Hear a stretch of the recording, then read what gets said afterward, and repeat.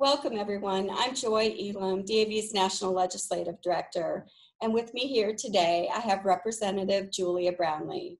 Representative Brownley is the chairwoman of the House Veterans Affairs Committee Subcommittee on Health. And we thank you very much, Representative Brownley, for joining us for this special forum and virtual salute. DAV is celebrating our special milestone, a special milestone this year, our 100th anniversary, and we're very proud of the 100 years of service that we've provided to our nation's ill and injured veterans. We wanted to highlight the work of the committee, your work specifically on improving services for our nation's women veterans. This has been a really important issue for DAV. As you know, um, we've had two reports that have come out with regard to women veterans, the long journey home and the journey ahead. And we certainly appreciate all of your work on women's issues. One of DAV's top legislative priorities for the 116th Congress is getting legislation passed to improve healthcare services for our women veterans and any gaps and barriers that exist for them. And your leadership in Washington and on the Women Veterans Task Force has resulted in a number of legislative uh, bills being introduced, including and the passage of your bill, the Deborah Sampson Act of H.R. 3224.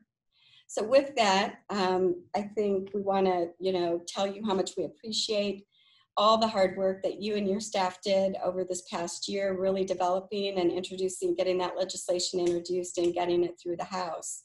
And now the Senate has um, acted, at least within the Senate Veterans Affairs Committee, on their bill, um, the, the companion bill, and uh, passing it out of committee. And they did mark it up and added a number of provisions from your bill. Um, but I wanted you to have the opportunity to just talk a little bit about uh, your bill, the genesis of that, and why you think it's so important, you know, the provisions that you've included in there.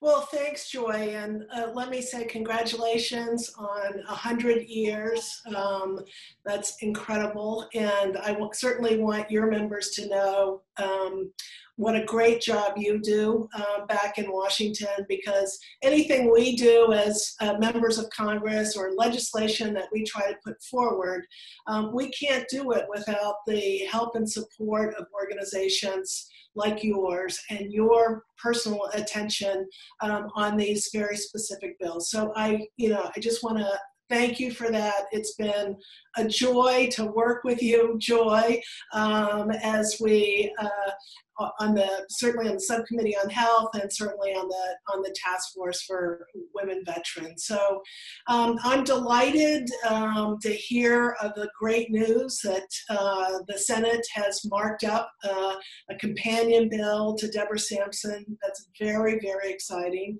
Um, it's a step that needed to occur, and now we have to make sure that it gets to the Senate floor and voted on, and that we can merge these two bills together um, from the House and the Senate and, and move it to the President's desk for signature. So there's still a lot of work that still needs to be done, um, but it's exciting to know that there's really general uh, agreement uh, in both houses in terms of what really needs to take place as it relates to services uh, for our women uh, veterans across the country. So um, it's it's quite exciting, and I think in both bills, um, they're very comprehensive bills. There is a lot, uh, uh certainly a lot in mine and a lot in the Senate. So um, it just underscores uh, how much we need to do and how much work needs to get accomplished to be able to appropriately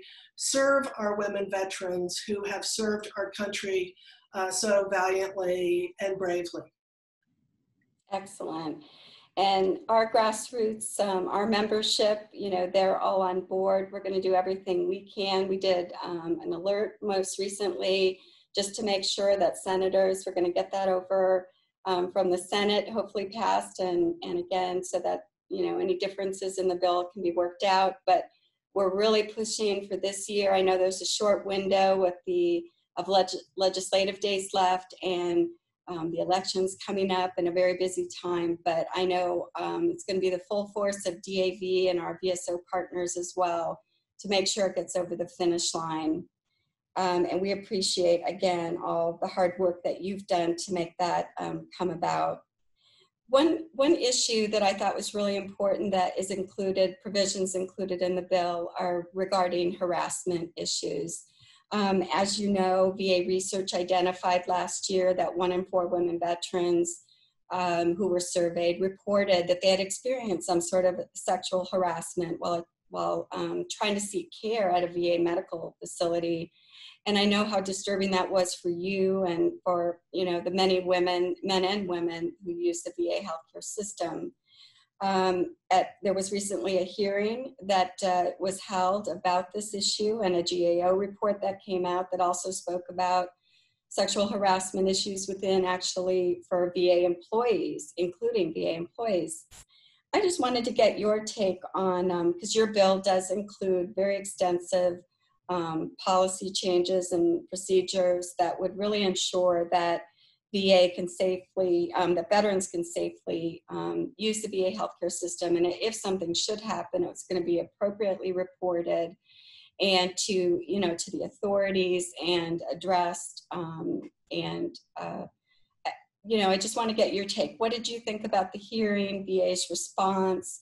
Um, do you think, um, you know, VA's efforts to date are satisfactory? Do you want to see more? What, what's your opinion? Well, um, it's an important question, and this was an issue that really the task force unraveled early on uh, in its work. To really, it was shocking to me to find out that uh, you, you, know harassment was actually going on in VA facilities, and really the VA didn't really have any policies uh, to address this specific issue. Certainly, they had policies in terms of harassment and assault, um, but not within their own uh, facilities so that when patients are coming in, uh, women veterans are coming in to receive services, their employees working there, that they really didn't have concrete uh, policies uh, in place for that. And as you said, uh, the GAO did a report and made uh, seven very clear recommendations in terms of what what is needed. I was very disappointed, I have to say, in terms of VA's response to that. Um, certainly, they said that they would comply. Uh, they said they would comply to six out of the seven, um, uh, you know, of these issues. Um, but the, the time frame in terms of their commitment uh, to, to, to meeting these corrections was, you know, 2024. I can't remember all of the exact dates within there, but this is an urgent, urgent situation. And we know, as I think you mentioned, one in four uh, women veterans are harassed or assaulted. It's the same statistic within the VA and within VA uh, medical facilities, whether we're talking about patients or uh, employees. And we all know that those numbers or that statistic, that data point um, is probably even worse because there's so much non-reporting that still goes on uh, within the, the VA community and certainly within our facilities. So this is an urgent situation that really requires comprehensive, urgent leadership. Uh, and um, it, it certainly the first step is to have the appropriate appropriate policies in place that there would actually be a handbook that people could refer to in terms of exactly what the policies are uh, but as it relates to va medical facilities anybody uh, that sees any action of harassment it must be a culture and an environment for anyone to, if they see it, to say something. Um, and, and immediately, so that this is immediately addressed. This has to happen in every facility across the country. And as you know, Joy, this comes up so many times in our hearings is if you've seen one VA, you've seen one VA. And I'm sure there are VA facilities out there that are doing a relatively good job as it relates to this. Uh, but this is a policy that needs to be implemented equally and as strongly and with strong enforcement across the entire VA. To think that women veterans come to the VA for help because they may have been traumatized and may have been traumatized through military sexual uh, trauma, then coming to the VA for help and being traumatized again is unacceptable and inexcusable. Well, thank you for that. We feel the same about the urgency of it. And in fact, our national commander, um, Commander Whitehead, you know, feels so passionately about this. He, you know, filmed a, a video media uh, message for our members and said, as we go back to the VA, um, as it opens, as COVID, you know, hopefully um, with the pandemic, um, at, as we start to, you know, use the VA again, that that's absolutely what we need to do. Nobody can be a bystander about this on this issue. That we all need to do our part. And I know we're going to have, um, you know, all of our members really pitching in.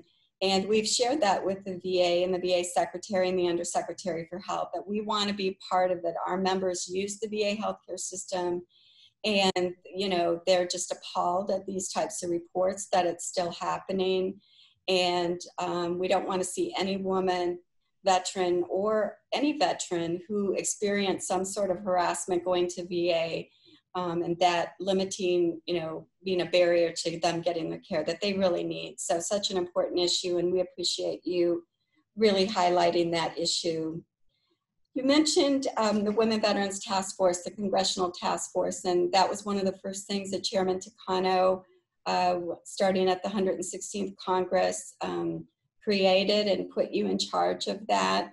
Could you tell our members just a little bit about the work of the task force, why it came to be, um, you know, how often you meet, and who participates in um, the task force meetings? Well, thank you uh, for that. And I, I'm very, very proud of the task force and very proud of the work actually that we've accomplished in a, in a short period of time. Um, it became abundantly clear to me um, in my early years on the VA committee um, that women veterans are invisible uh, in many cases. Um, they're very visible as they serve in our military and leave the military and become invisible. Um, in the services, there are huge gaps in services as it relates uh, to women veterans. And as you know, women veterans is, is the largest cohort uh, within the, the fastest growing cohort uh, within the um, the VA uh, veteran uh, community. And the VA needs to be ready uh, to serve that growing cohort in a way that is, again, comprehensive and, and those services across the country. So the task force, as you know, we meet um, often. Uh, we've had many roundtables of which you have participated on um, in uh, Washington, D.C., and we have uh, taken the task force on the road, uh, if you will. I mean, uh, up until uh, COVID and this pandemic, we were uh, truly traveling uh, across the country and talking to actually women in the military and women veterans across the country to, to better understand you know what their issues are. And you know we had to speak with women who are currently serving in the military because so many of the issues take place there in service. Um, and as a consequence, VA needs to be ready and prepared uh, to help and assist our women veterans when they leave when they leave the military. And it's been that has been an extraordinary uh, personal experience for me, I, I have to say, because in each city and places that we've been across the country. We, we gather together, whether it's women in the military or women veterans or a combination thereof. Um, at first, you know, people are a little, you know, a little bit uncomfortable. What does this really mean? What is she trying to get from us? Um, a little hesitant, uh, honestly, to uh, be sort of forthright and, and candid about what their feelings are. And as soon as I sort of start the meeting and talk about how I really want to, you know, really do want to hear from you, this is important in terms of legislation, in terms of moving forward in Washington. And I will share with them, you know, I, I I've had some other meetings and women have talked about this and they've talked about that. Well, as soon as I start to let them know that other women are talking, and as soon as that first woman in that meeting mm-hmm. begins to speak, the whole room opens up again.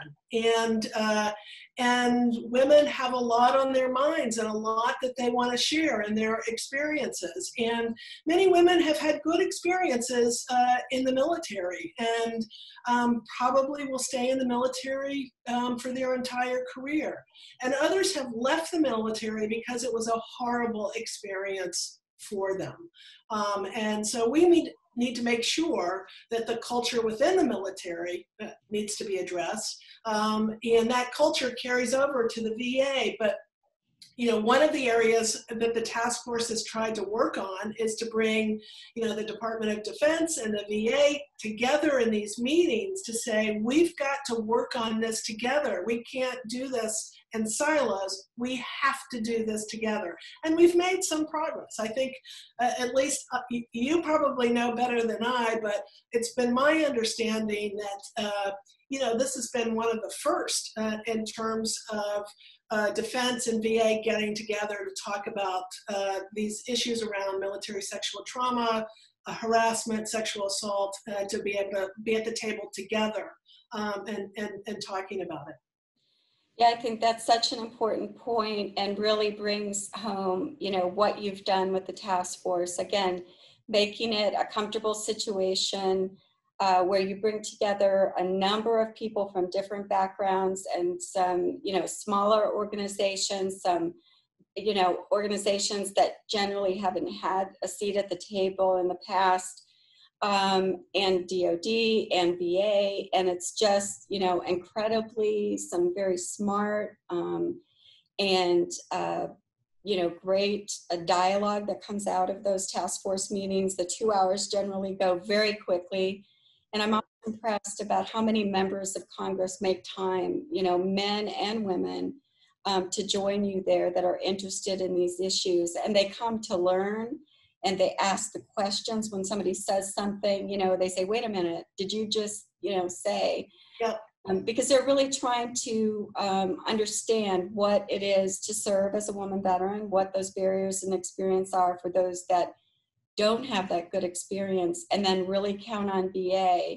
Um, and as you know, for DAV, um, our focus on service disabled veterans and all the women that are serving in our war, you know, have wartime service, um, very complex medical histories, yeah. and they need the VA. They need the specialized services that they offer. And we want everyone to feel comfortable to use the VA. We don't want any veteran to be marginalized and feel they're not welcome there um, and that they you know need to seek care elsewhere so um, again kudos to you and the task force um, for really you know focusing on those difficult issues um, and listening to women veterans that's what women tell us all the time i just you know i feel invisible people don't listen to what we have to say these issues continue on um, you know why should I participate? And we keep telling them, you need to keep speaking up, make your voices heard.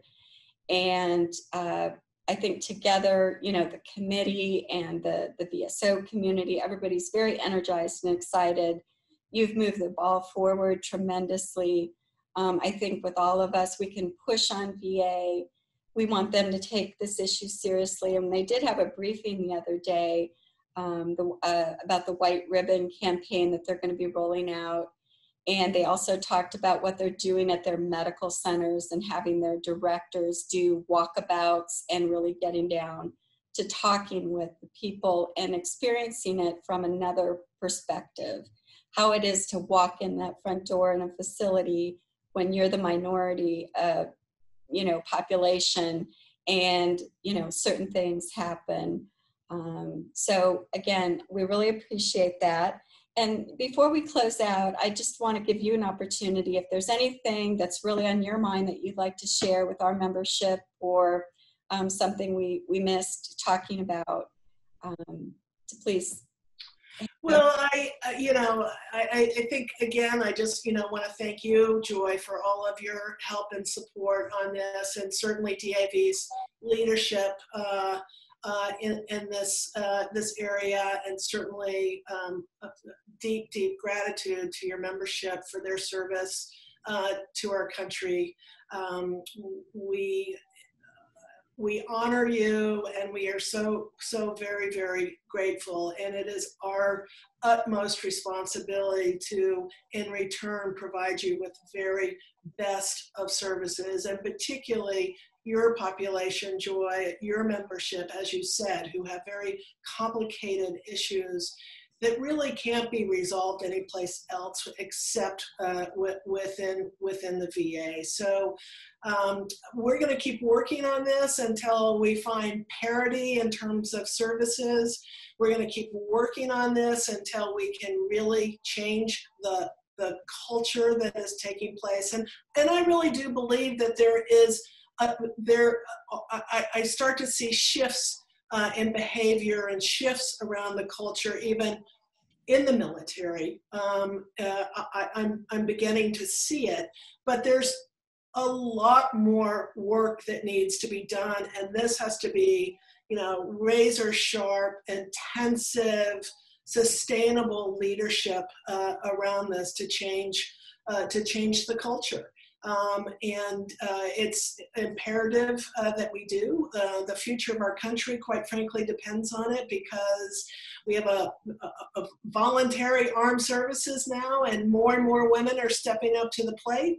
Um, and we've got to be ready and prepared uh, to help them transition out of the military and, and certainly serve uh, all of their needs.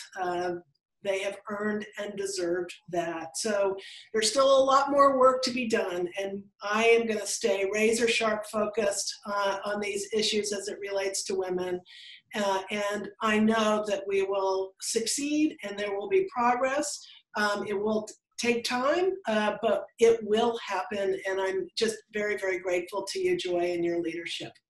Thank you for that. And you know you can count on DAV and our members to have the full weights, you know, supporting what you're doing. Again, a real champion on this issue. Um, very thoughtful legislation, not just, you know, a couple of provisions here or there with reports, but really um, cutting edge legislation that can move the ball and we're going to be there to push it over the finish line and celebrate. We hope that when that happens, you'll invite us and we can all um, really, um, again, congratulate you on those efforts. And thank you so much for being here with us today. We know how busy you are and it really appreciate your time. So thank you so much. Take care. Thank you.